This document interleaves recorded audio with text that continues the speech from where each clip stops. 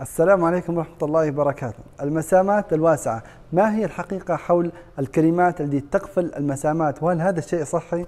الجواب لا يوجد كريم تسد المسامات وإنما بطريقة أو بأخرى راح أعطيكم إياها. نضيق المسامات بحيث تكون غير مرئية. هذا الشيء الصح لأن المسامات أصلا طبيعة بشرة وهي المتنفس الوحيد للبشرة. بها تقوم بإخراج الدهون والعرق ويقوم الدهون بترطيب البشرة ومنع أشعة الشمس الضارة حتى لا تدمر البشرة وسبب لها تجاعيد فلها فوائد كثيرة على البشرة.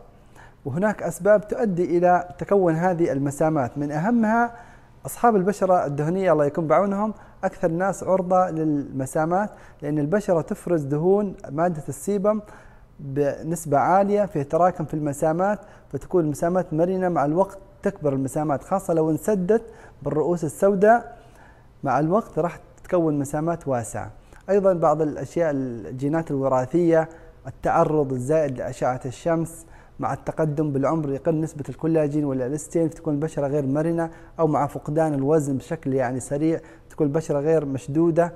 أيضا من الأسباب النوم بالمكياج. لذلك نقول البنات الله يرضى عليكم قبل النوم لازم تنظفوا البشرة لأن المكياج وال foundation يتراكم في المسامات وتتوسع بشكل أكبر. هذه أهم الآن راح أعطيكم خطة علاجية لتضييق المسامات بمنتجات طبية موجودة في الصيدلية. قبل ما أبدأ بذكر هذه المنتجات احفظوا عندكم واكتبوا هذه المادتين المفتاح لعلاج المسامات وأيضا للبشرة الدهنية. إحنا ذكرنا من أسباب من زيادة إفراز الدهون فنحتاج أشياء تنظم إفراز الدهون. رقم واحد مشتقات فيتامين الف سواء الحبوب الازيتروتينويد وهذه عن طريق طبيب جلدية أو كريمات تحتوي على فيتامين الف اللي هي الإكراتين أو الديفرين أو الريتينويل كأخف نوع. رقم اثنين أي غسول أو toner يحتوي على مادة ال salicylic acid اللي هي الصفصاف اللي تقوم بتنظيف الدهون بشكل عميق جدا.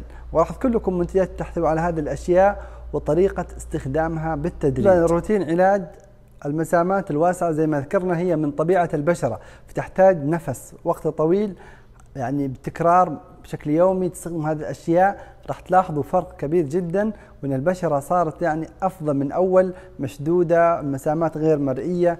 هذا الشيء الصح. يعني راح اذكر لكم الآن بالتدريج منتجات مشهورة جدا.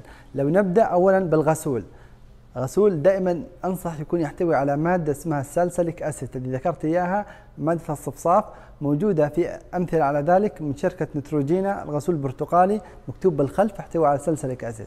أو غسول مشهور جدا من شركة طبية لو عندكم قدرة إمكانية آه، من شركة سيرافي آه، يحتوي على سالسليك أسيد اسمه SA هذه تغسل البشرة لو حتى قبل النوم لأنه ضروري. تنظفوها من الزيوت من المكياج من الأتربة.